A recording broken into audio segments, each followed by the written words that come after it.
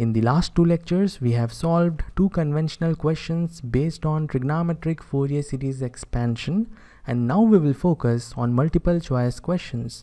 You can see one multiple choice question on your screen and this question is taken from ESE 2011 paper. We will first read the question and then we will move to the solution. The Fourier expansion ft equal to a naught plus summation a n cos n omega naught t plus b n sin n omega naught t of the periodic signal shown below will contain the following non-zero terms. So basically this question is talking about a naught, an and bn. In the four options you can see different combinations with different possibilities and we are required to comment about a naught, an and bn and the only information given is the waveform. So simply we will analyze the given waveform and we will try to collect the information about A naught, An and Bn. So first we will check whether the given waveform is symmetrical about the time axis or not. If the waveform is symmetrical about the time axis, this implies A naught is equal to 0 because when waveform is symmetrical about the time axis, then the area over one time period is going to be 0 and when area is equal to 0 when you calculate the average value, it is also equal to 0 and A naught is the average value of the given signal. So A naught is the average value of signal ft and as the signal is not symmetrical about the time axis it is not equal to 0 and as in the question it is asking about non-zero terms the correct option must contain a naught and as you can see all the four options are having a naught. The calculation of a naught is not very useful in determining the correct option. Now we will focus on the type of signal whether it is even signal or odd signal.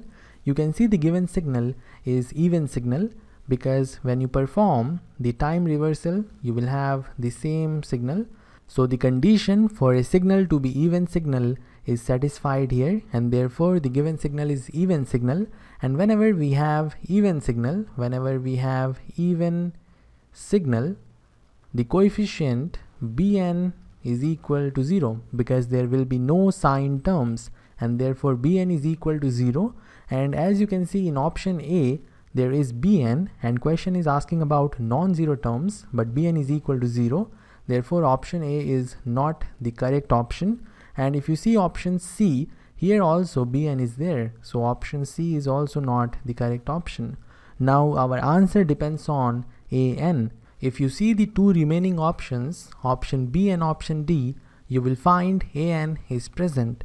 So An is not equal to 0. The only difference is that we have n equal to 1, 2, 3 and so on in option B and n equal to 1, 3, 5 and so on in option D.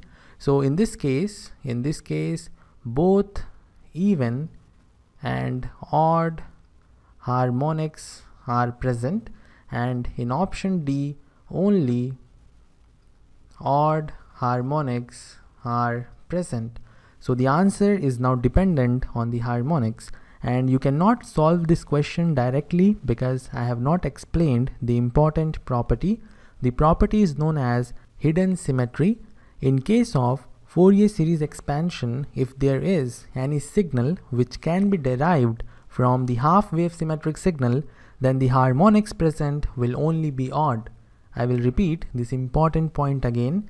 This question is mainly based on the knowledge of this property. The property is very easy to understand. We will discuss more about it in the coming lectures. But for now I will repeat this statement. Whenever you have any signal which can be derived or obtained from half-wave symmetric signals, after making some adjustments, we can say that the harmonics present will only be odd.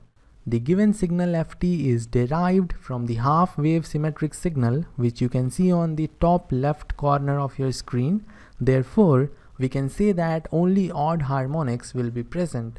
So option B is an incorrect option and option D is the correct option because here n equal to 1, 3, 5 and so on. This means only odd harmonics are present because when you put n equal to 1, 3, 5 here you will find we have cos omega naught t, cos 3 omega naught t cos 5 omega naught t which simply implies that we have odd harmonics.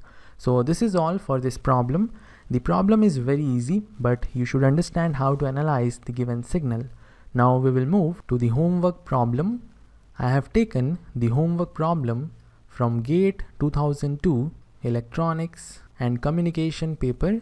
The question is asking which of the following cannot be the Fourier series expansion of a periodic signal. There are four options and once you have your answer, post it in comment section and if possible also explain the reason behind your answer. So this is all for this lecture. See you in the next one.